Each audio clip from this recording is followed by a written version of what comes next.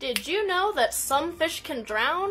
And not in a fish coming up out of the water is the same as us going into the water equivalency of drowning.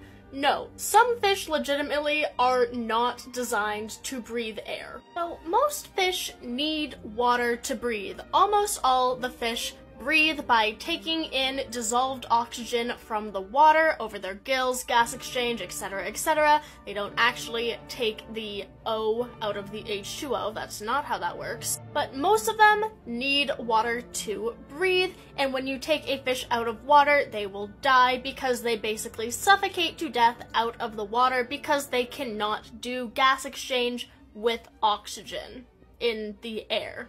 But some fish don't do that. Some fish are like, nah. Some fish are what are known as amphibious, meaning they can be both in the water and on land in the air. Like this one. This is the woolly sculpin. It's a type of amphibious fish.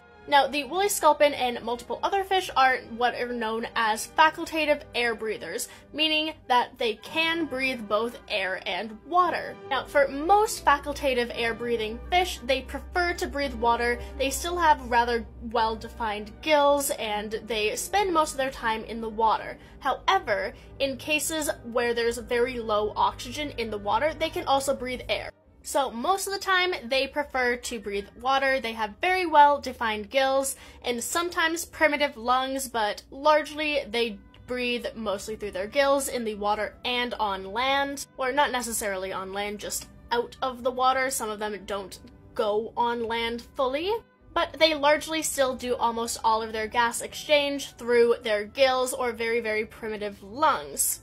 And for facultative air breathers, this only really happens where they do gas exchange out of the water when there's very, very low oxygen levels in the water that they're in, and there's not enough oxygen to actually facilitate gas exchange in the water through their gills, so they have to come up out of the air where the oxygen levels are higher. Now, this is the African lungfish. They are still air breathing fish, but they're known as obligate air breathers, meaning they have to or are obligated to breathe air. Now, there are a few species of obligate air breathing fish, including the African lungfish, and they almost always have very, very, like, undefined and reduced gills. The gills are often way smaller, and they do all of their gas exchange, or almost all of their gas exchange, through lungs. Now, by doing this, it means that they have to breathe air. Their gills are not large enough or well developed enough to do any more than a tiny bit of gas exchange in the water. So that means that these fish can actually drown. If they are unable to get to the surface to use their lungs to breathe oxygen from the air, they're not able to do enough gas exchange below the water with their tiny reduced gills, and so they end up essentially suffocating under the water as a fish. This is the mud skipper, another type of obligate air-breathing fish, and again, it has very reduced gills and very well-developed lungs. Now, often the obligate air-breathing fish are still aquatic. They do spend most of their time underwater. They just come up whenever they need to take a breath of new air, much like whales and dolphins and aquatic mammals and birds do.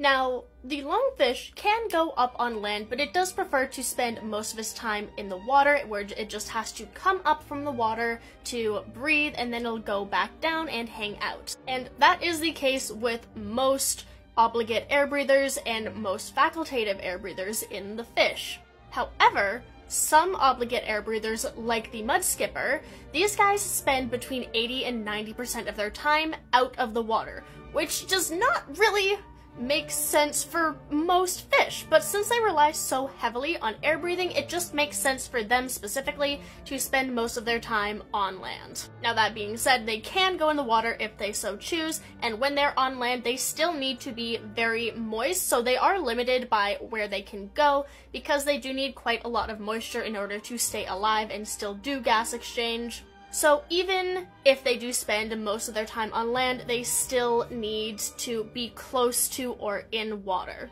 So that is basically just a fun little trivia fact you can tell your friends. Some fish have lungs and some fish can even drown in water.